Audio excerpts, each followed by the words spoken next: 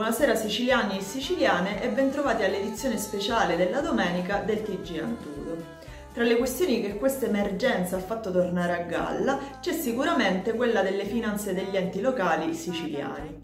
Un tema che nelle ultime settimane è stato ripreso più volte anche da Leo Luca Orlando in eh, qualità di presidente dell'Anci Sicilia.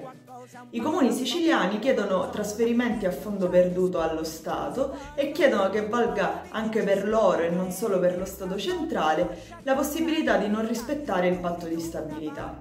A rischio, dicono i sindaci, ci sono i servizi che eh, i comuni erogano ai cittadini. In generale non si può negare che i comuni siano stati lasciati soli durante questa emergenza, abbandonati sia dal governo nazionale che da quello regionale che hanno fornito ben pochi strumenti per sostenere le famiglie in difficoltà. Ma già prima la situazione economica dei comuni siciliani, delle ex province e della regione non era felice. Sono infatti 130 i comuni siciliani che si trovano già in una situazione di forte difficoltà. Le ex province sono state lasciate senza fondi e la regione registrava circa 9 miliardi di debiti e 2 miliardi di disavanzo. Ci siamo dunque chiesti se la situazione è sempre stata questa. Abbiamo provato a capire chi sono i responsabili e quali le cause. Lo abbiamo fatto con l'ausilio di chi ha ricoperto o ricopre il ruolo di amministratore locale di un ente che presenta questa problematica. Circa il 25% dei comuni siciliani sono in bancarotta. In Sicilia ci sono 43 comuni eh, che sono eh, dissestati, ce ne sono eh, 46 in predissesto, con tutto quello che eh, ne, eh, ne consegue andiamo nel 2001, finché non si fa la riforma del titolo quinto, quando i trasferimenti sia eh, nazionali che regionali erano molto più consistenti, c'era un, un principio di sussidiarietà, i comuni, diciamo, soprattutto i comuni del sud, parliamo della Sicilia, eh, avevano minore difficoltà. Ad esempio io sono stato sindaco mm, fino al 2000 la riforma del titolo quinto arriva nel 2001, io non avevo le difficoltà che oggi i sindaci, i sindaci incontrano, nel senso che avevo trasferimenti che mi permettevano di gestire sia eh, l'ordinario che, eh, diciamo, le, che gli investimenti. Io ho finito di fare il sindaco nel 2000 l'avanzo di amministrazione che la mia amministrazione ha lasciato a chi è venuto dopo era di 1 miliardo e 700 milioni di vecchie lire. Nel 2000 siamo ancora con, con la lira. Poi non è stato più così, però io avevo maggiore possibilità di, eh, diciamo, di liquidità per poter dare risposte. Ma quello che è successo sostanzialmente è questo, ed è che per restare all'interno dei parametri imposti dall'Europa sono stati posti dei vincoli, eh, che quello che noi normalmente chiamiamo, chiamiamo, patto di stabilità, che ha un versante di carattere nazionale, che appunto sono i parametri del patto di stabilità, e poi ha un versante che è il patto di stabilità interno che riguarda gli enti locali. Questo meccanismo ha fatto sì che i comuni progressivamente hanno contribuito a mantenere i, i parametri nazionali dentro i vincoli imposti dall'Europa in maniera molto maggiore rispetto a quanto contribuivano nella formazione del debito. Cioè sostanzialmente il debito nazionale è stato contenuto attraverso i, i comuni che si sono trovati ad avere sempre meno risorse e avendo sempre meno risorse, sempre più servizi sono stati posti a carico dei, dei cittadini. Bisogna dire la verità però che a tutto questo hanno contribuito altri due elementi fondamentali. Uno riguarda il fatto che i partiti hanno utilizzato i bilanci dei comuni come dei veri e propri bancomat, per cui hanno, la corruzione ha avuto un peso non indifferente nella eh, diciamo così, formazione di debiti fuori bilancio nella, e nella eh, creazione di perdite nell'ambito delle società partecipate. E un altro elemento che ha lì un doppio versante che è la scarsissima capacità di riscossione dei tributi che c'è in Sicilia. Questo è un dato che però ha vari versanti. Uno dei quali riguarda una condizione di vera e propria povertà dei cittadini siciliani. Tanti di questi non hanno effettivamente i soldi per pagare i tributi. A partire da questo sorgono ulteriori domande. La prima, la soluzione a un problema che è economico-politico può essere trovata da tecnici?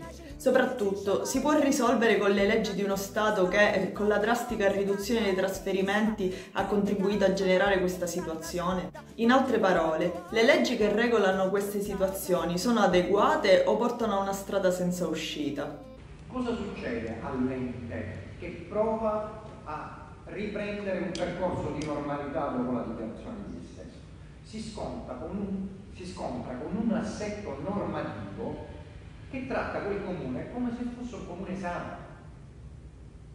In questo si è rotto nel corso degli anni un patto tra i territori e lo Stato e gli enti che vorrebbero mettere in campo le misure di risanamento profondo, che sono quelle a cui facevo riferimento prima, cioè correggere le strutture che hanno generato la condizione di dissesto, si trovano una serie di sbarramenti normativi che sono gli sbarramenti previsti per i comuni normali, non quelli per, per i comuni in dissesto. Molti comuni in dissesto non hanno il ragioniere generale, c'è penuria eh, ovunque di ragionieri generali. Molti comuni non hanno il ragioniere generale e quindi hanno difficoltà a fare anche il bilancio stabilmente equilibrato. Dopodiché c'è una norma del 2016, illogica, che si è tentato di cambiare mille volte senza riuscirci, che dice che se non, hai, se non sei a posto con, con i tuoi bilanci non puoi fare assunzioni. E quindi i comuni si ritrovano in questa condizione paradossale per cui non hanno il ragioniere e quindi non possono fare il bilancio, non hanno il bilancio e quindi non possono prendere un ragioniere generale. Cioè una norma che si è cercato di modificare dicendo al legislatore capiamo il senso della norma, ma prevediamo una deroga per le figure infungibili. Perché io ho sempre eh, sostenuto che i commissari non risolvono il problema. Il problema è che nel tempo, ehm, nei cinque anni entro i quali eh, diciamo, bisogna fare i risanamenti, si riproporrà sempre un problema in quei comuni dove non c'è la capacità di riscossione dei tributi prima della, della, eh, riforma del titolo quinto eh, con i trasferimenti statali, i comuni avevano un obbligo di eh, di prevedere in bilancio almeno il 50% del, eh, della spesa dei rifiuti. Quindi il momento in cui i servizi sono eh, diventati a carico del comune per intero, quindi autarchici, bisogna ricoprire il 100%. Cosa succede? Se è vero che la riscossione eh, eh comunale eh, nei comuni diciamo virtuosi non va oltre il 50-60% e il 40% non sarà incassato, lo, devi, lo, si deve mettere a ruolo, però il servizio lo si deve pagare. Quindi eh, quali sono le conseguenze? Di accumulare del debito e molto spesso debiti fuori bilancio. Debiti fuori bilancio che poi eh, diciamo sono eh, uno eh, degli elementi per cui i comuni vanno, vanno eh, in dissesto. Sia la condizione di dissesto che di predissesto seguono la logica delle famose politiche di austerity, tagli alla spesa pubblica, esternalizzazione dei servizi, svendita del patrimonio. Logiche che danno spazio a grossi privati nella gestione di interi pezzi di comuni. Ci chiediamo quindi se eh, servizi primari e fondamentali come il trasporto pubblico, l'acqua, l'accesso agli spazi comunali, eccetera, rischiano in questo modo di non essere più garantiti, ma servizi a cui può accedervi solo chi se lo può permettere. Si può ritenere che i processi di risanamento imposti dallo Stato italiano, così come sono, siano un attacco ai territori economicamente più deboli e alle fasce della società più in difficoltà? eh, il, i commissari o comunque commissariare o comunque eh, diciamo mandare in eh, un comune eh, in bancarotta sicuramente è una cosa drammatica soprattutto per le fasce più deboli. Cioè, il paradosso è che l'ente in dissesto a distanza di 3-4 anni dalla dichiarazione di dissesto si ritrova con consistenti avanzi di amministrazione e evidentissimi disservizi è costretto a comprimere la, la, quantità e qualità dei servizi che rende alla comunità perché si trova ingabbiato in un meccanismo normativo che non tiene conto della specificità dell'ente che ha liberato il dissesto. Eh, non c'è dubbio che il prezzo più alto lo paghino le fasce più. Questo non c'è dubbio. Nel corso degli ultimi cinque anni la spesa per servizi indispensabili come trasporto, assistenza igienico personale e assistenza alla comunicazione di bambini con disabilità scolarizzati si è, almeno nel comune di Milazzo, decuplicato. Questi sono servizi che noi non possiamo dare alla nostra comunità. Quindi per cinque anni eh, tutti eh, i tributi, le tariffe devono essere portati al massimo consentito dalla legge. Se c'è personale in esubero, in esubero devono essere messi a disposizione o comunque se c'è un, una carenza di personale il comune non può più procedere a modificare pianta organico o assumere eh, personale, personale nuovo. E se noi teniamo conto che i comuni, soprattutto i comuni del sud, i comuni siciliani, non fanno assunzione da, da almeno vent'anni.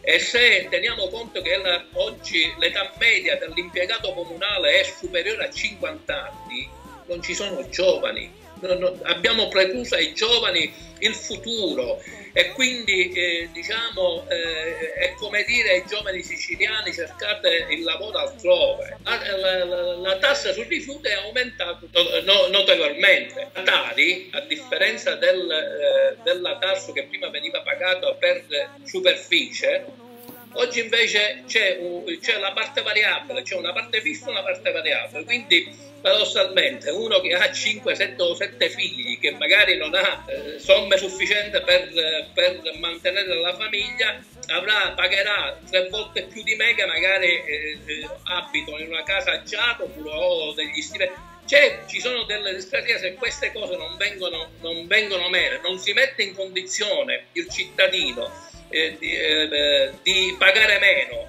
per pagare tutti, eh, questi problemi non saranno mai, a mio modesto parere, non saranno mai superati.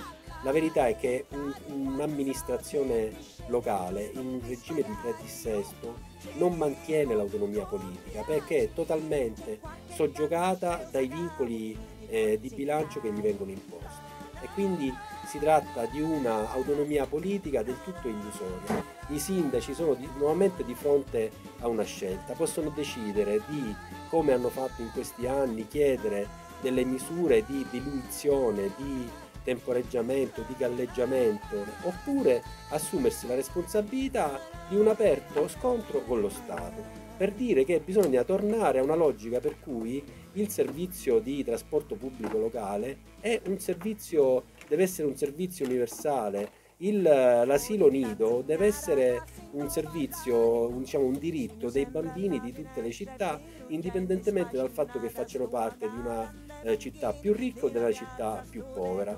L'alternativa è continuare a, che, a, fare quello che hanno fatto finora, cioè essere gli aguzzini, assumersi la responsabilità di essere gli aguzzini dei propri, dei propri cittadini e pensare alla, alla prossima rielezione. E questa è una cosa che fanno tutti.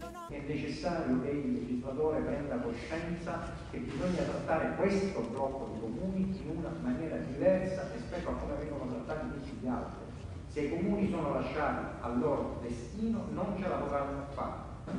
Se altrimenti il tema rimarrà soltanto tra rapporto tra spesa corrente e spesa del personale, percentuali, eh, statistiche, e allora il tema non sarà stato affrontato nel, nella sua sostanza, il patto di solidarietà con lo Stato sarà irrimediabilmente rotto e l'Italia continuerà ad andare a due velocità con la differenza che chi va bene sarà sempre più forte e chi va male sarà sempre più debole. Il problema è eh, prevedere, incentivare questo fondo eh, diciamo, de, del federalismo eh, di solidarietà, del federalismo fiscale per dare eh, aiuto a quei comuni che ehm, diciamo, hanno maggiore difficoltà. I commissari sono burocrati, faranno la, la, pubblicazione per la massa passiva, vedono chi sono i creditori che si fanno avanti, tutto quello che sarà incassato per le, le riscossioni per i tributi arretrati li vogliono perché devono eh, sanare per 5 anni devono sanare i, i debiti del comune,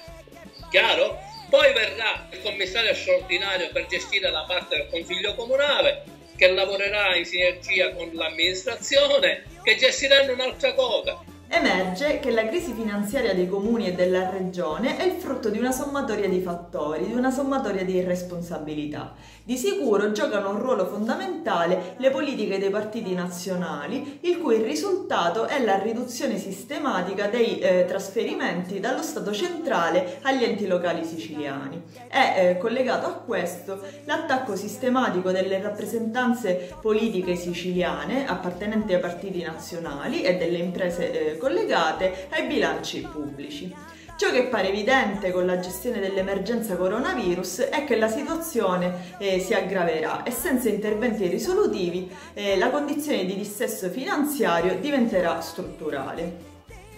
Quello che si prefigura quindi è un allargamento della forbice tra i comuni che sono in condizioni eh, finanziarie buone, che hanno maggi maggiori introiti perché insistono su territori ricchi e eh, produttivi, ovvero quelli eh, del centro-nord, e quelli che si trovano nei territori più poveri come la Sicilia.